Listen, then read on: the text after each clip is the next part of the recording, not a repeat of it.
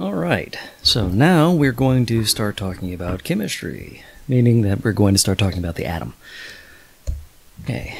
The origins of atomism. Uh, this actually goes back to ancient Greece, you know, the BC era. Um, there were a lot of influential Greek philosophers. In this case, we're going to talk about the divide between Aristotle and Democritus. Uh, Aristotle thought that matter was infinitely divisible. You know, if you keep cutting and cutting and cutting and cutting matter into smaller pieces, then you'll never find a smallest piece of matter. Uh, Democritus um, held that matter was made of tiny bits that could not be cut anymore. Um, and that is actually the origin of uh, the term atom, because A means not or un and then you have tomos, which is Greek for able to be cut. So cuttable. So an atom is literally uncuttable, something that cannot be divided any further. All right, so that's where uh, things remained as a philosophical argument for a really long time because they just didn't have the data, they didn't have the understanding. Um, uh, Aristotle dominated for the next 2,000 years. The atomists remained a dedicated minority. Um, the domination of the Aristotelians was partly because the Catholic Church picked up Aristotle um, and uh, incorporated Aristotelian philosophy into church doctrine. This was difficult in some cases, but uh, in other cases it worked fairly well. Uh, the atomists uh, actually were uh, uh, synonymous with um, uh, atheists for a really long time. Um, they were they, they were monists. They they didn't believe in spirits or ghosts or the afterlife or the gods or anything like that, which is a, a, a pretty big slap in the face to a large chunk of the world. So they remained a minority.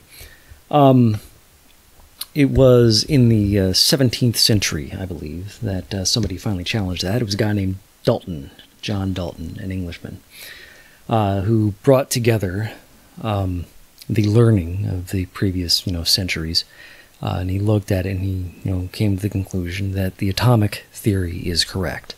You know, it has nothing to do with spirits or anything like that. It's just that he looked at chemical reactions and how, you know, elements behave and so on and he realized, yeah, yeah, okay, atoms are the way to go. Um, and he concluded that all matter is made of indivisible particles known as atoms. Uh, these atoms are derived or divided into varieties known as elements. Uh, all atoms of an element are the same. All atoms of different elements are different. No, he didn't have to specify. He didn't specify, and he didn't have to how they're different. He just said that they are different. Okay don't need to explain everything with a theory, just uh, enough that the theory works to explain stuff. Right? Um, so atoms combine in whole number ratios to form compounds with different properties. For example, uh, water is two atoms of hydrogen and one atom of oxygen.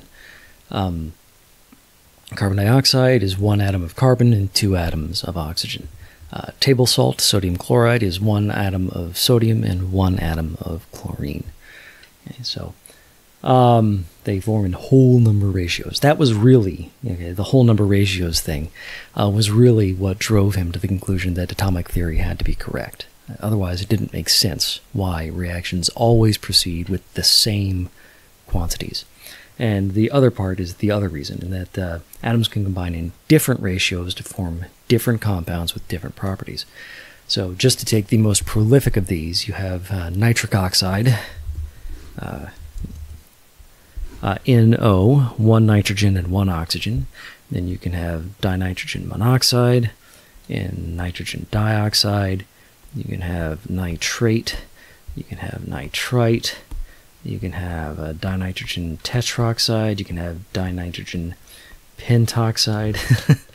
Uh, you can have a lot of compounds of nitrogen and oxygen.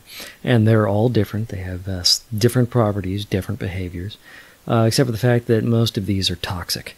Um, you don't really want to breathe them in. Okay, so that is atomic theory. Those are the, uh, the five sort of laws that make up atomic theory. Now, Dalton didn't get it entirely correct. He, uh, we've since updated his theory to to include a few other um, uh, to, uh, uh, some corrections to his uh, theory. First off, we know that uh, atoms are divisible. They can be subdivided into subatomic particles. We now know those as protons, neutrons, and electrons.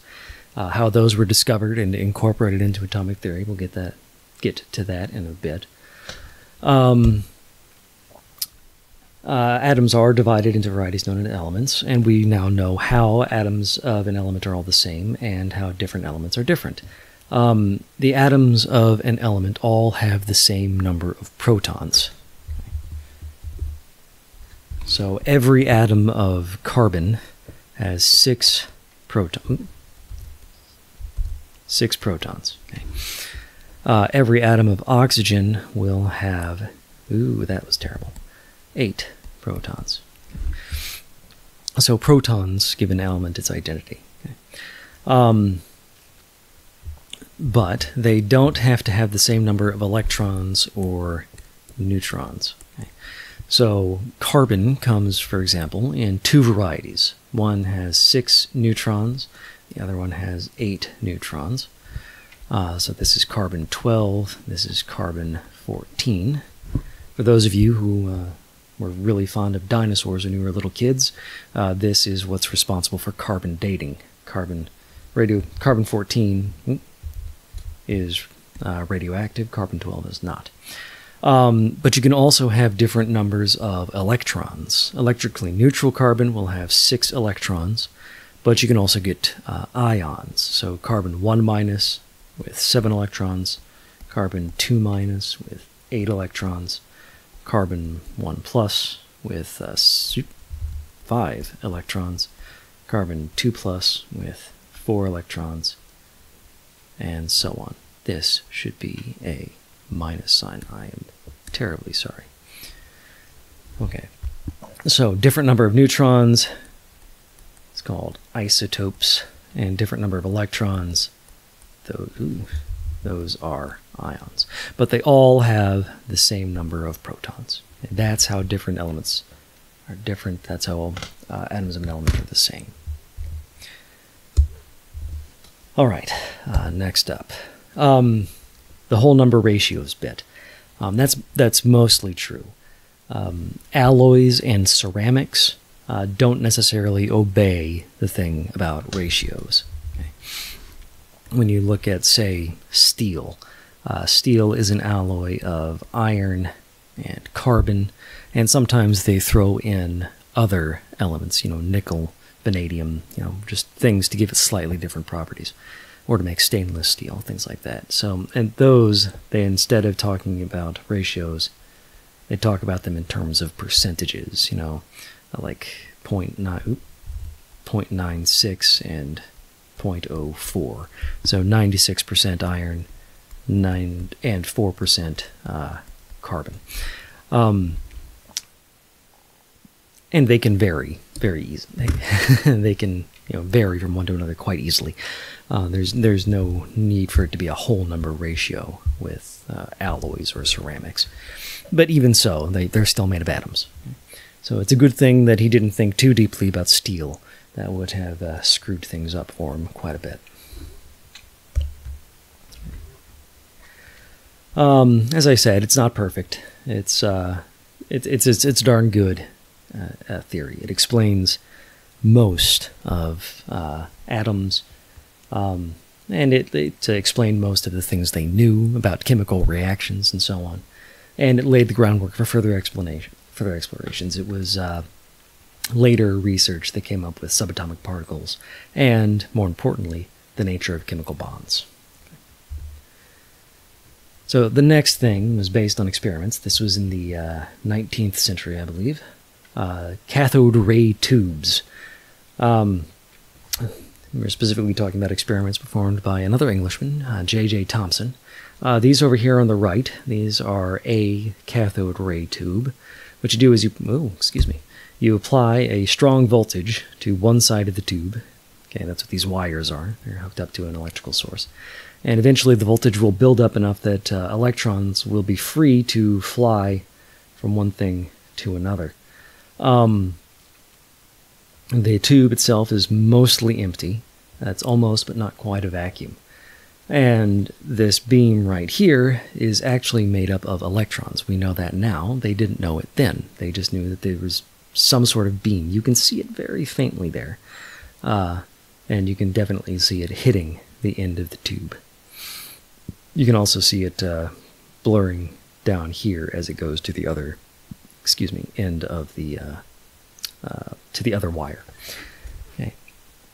So Thomson was playing around. Uh, he made the tube a vacuum, or almost vacuum, and he found that the beam responded to electric and magnetic fields. Um, you know, basically, just brought a magnet nearby. He brought a battery nearby, and the, and the field bent. So, thus the uh, uh, the beam is made of electrically charged particles. Okay? Uh, they didn't use the word particle back then, but we do now. A particle, uh, excuse me, uh, PTCL is my abbreviation. Uh, when I'm writing on a board or something, I tend to abbreviate it like that. Um, short for particle, and that just means a tiny bit of something, just, you know, a dot. Um, so in this case, uh, the beam is made of some sort of charged particles, and because of the way it bent in response to magnetic fields, he was able to determine that these particles were very, very tiny. Uh, specifically, they had uh, a mass um, about 2,000 times less than uh, the hydrogen atom, which was the smallest atom that they knew of then, and it's still the smallest atom. It only has one proton, that's it. Um, so he realized that if it's incredibly small, much, much smaller than the uh, hydrogen atom, then it must be a subatomic particle.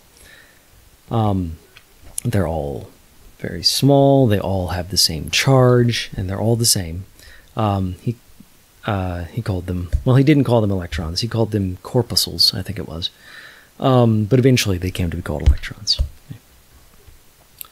So this was the first modification to uh, Dalton's atomic theory that atoms are made of uh, subatomic particles. They're not whole and indivisible. Um, so, uh, uh, he came up with the plum pudding model, in that uh, sort of like pudding studded with bits of stuff, plum in this in the case of the plum pudding. It, it's it's sort of like Jello. Um, he proposed that the atom has a positive pudding studded with, you know, plums that were the tiny little electrons. Um, again, he's he wasn't right but it's okay. You know, you have to come up with some sort of model, you know, some way of saying, okay, if the atom is made of subatomic particles, then how are they put together, you know? Um, so he got electrons right, he got the model wrong, that's fine. So the next uh, thing we go to, uh, we sort of take a step to the side, and we talk about uh, the Frenchman, this time, Henri Becquerel, and his experiments with uranium um, uranium ore, actually. And he was playing around with it. They knew about radiation, they didn't know what it was. Uh, and uh, one time he got lucky. He uh, was, you know, coming to the end of the day, and he was just sort of tossing things in a drawer to clear off his workbench. Um, and he threw it in a drawer on top of some photographic plates. And when he came back the next day, he found that these photographic plates had somehow mysteriously been exposed. Uh, as if they had been exposed to sunlight, but they'd been locked in a drawer, so there was no sunlight. And that's when he realized that uranium was emitting some kind of energy. Um, and there was no external energy source. You know, he would expose it to, uh, or no, sorry, excuse me. Um, they knew it emitted some kind of energy, but um, this discovery was that it didn't need to absorb sunlight in order to do so. That's what um, he discovered. Yes. Um, no need for external energy. It will just continue to emit energy without being charged or anything. So that's how they discovered radioactivity. Specifically, he had uh, encountered alpha radiation. Okay. So there are three kinds of radiation uh, alpha, beta, and gamma. Uh, these are the main uh, forms of radiation. Uh, an alpha particle is um, a helium nucleus.